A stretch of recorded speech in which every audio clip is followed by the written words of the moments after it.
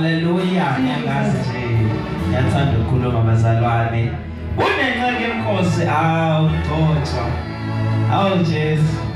Hayi ngiyathanda Mgcotshwa samsukena